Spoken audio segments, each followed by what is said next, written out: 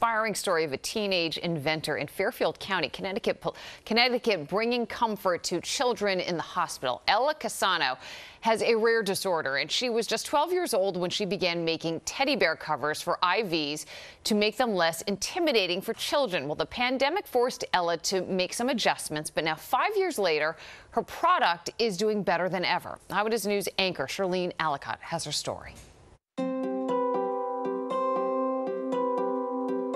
I was in my room and I took a stuffed penguin and I cut out the back and hot glued some mesh on. This was Ella Casano in 2019, introducing her creation, the Medi Teddy, inspired by her own experience being treated for a chronic platelet disorder. She designed an adorable way to hide an IV bag, which can be intimidating to kids. During the pandemic, hospitals didn't really want to take plush products. So, five years later, her invention has changed, but it's still thriving and making a difference. This silicone version can be easily cleaned and used for many patients.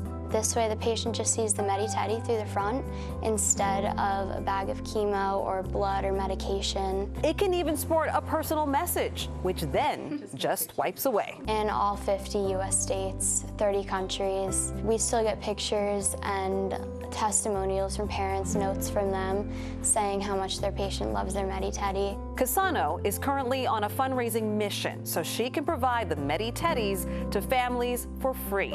The project has taught this recent high school graduate so much as she prepares for freshman year at Stanford University.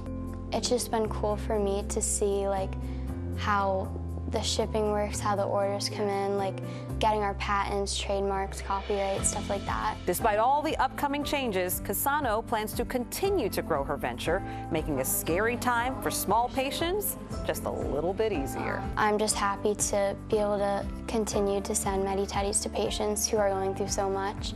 And um, I do hope that they just provide them some comfort, a little bit of a smile, things like that. Shirleen Allicot, Channel 7 Eyewitness News.